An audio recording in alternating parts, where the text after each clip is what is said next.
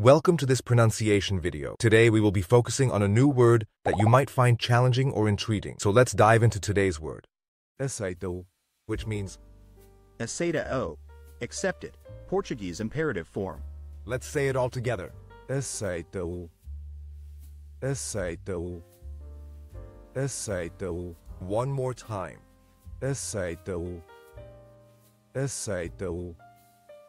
Aceita-o. Thank you for joining us on this adventure in pronunciation. Remember, language is a journey, not a destination. Keep exploring, experimenting, and expanding your linguistic horizons. We'll see you next time.